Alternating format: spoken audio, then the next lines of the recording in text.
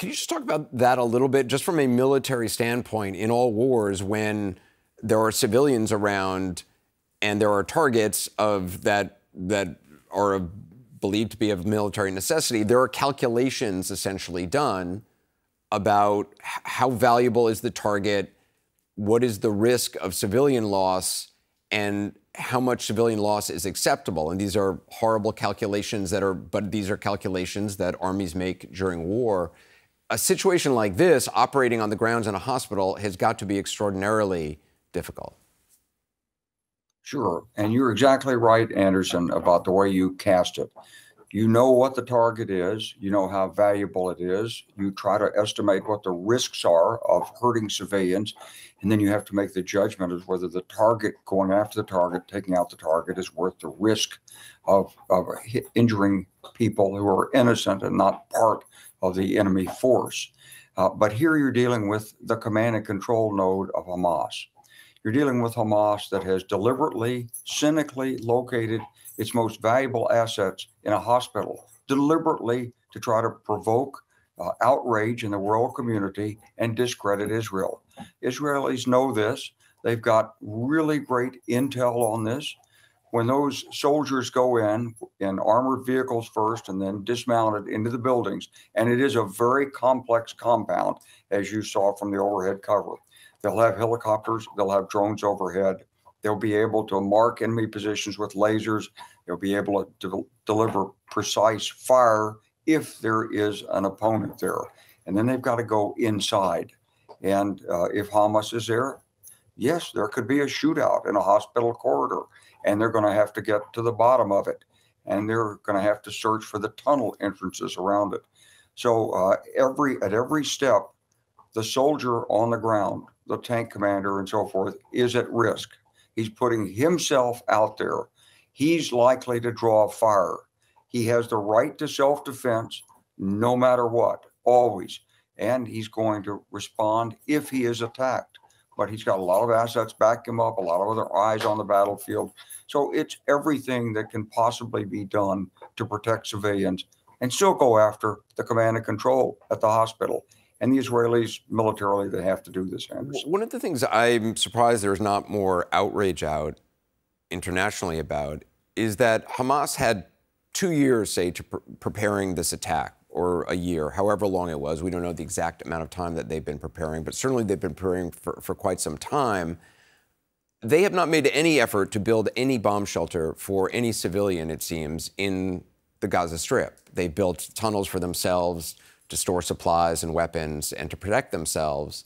Um, but there are not bomb shelters, even the kind of shelters that you see on the sides of the road in Israel by bus stops to protect against rockets. There, th- those don't exist on the streets of, of Gaza. Have, in your military experience, have you seen many countries or, or territories with a, a military that does not prepare or have some sort of safe harbor for its civilians? Well, no, but on the other hand, Hamas deliberately wants these civilians to be at risk. Well, that's I mean that's the point. Yes, but but right. I still find it stunning that that doesn't seem to register with a lot of people.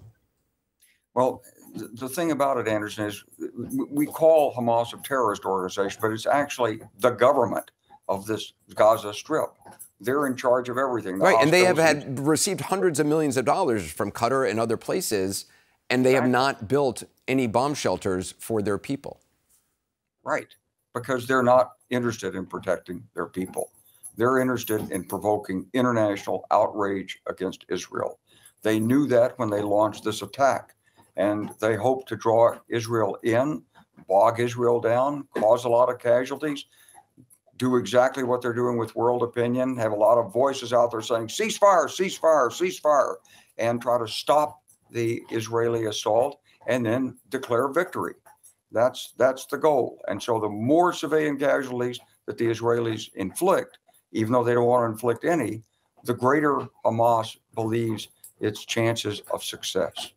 And, and Nick, I mean, it's accurate to say that the health officials in Gaza have denied repeatedly that Al Shifa Hospital or others are being used by Hamas for any, uh, I don't even want to call it military purposes because, I mean, for any of their own purposes.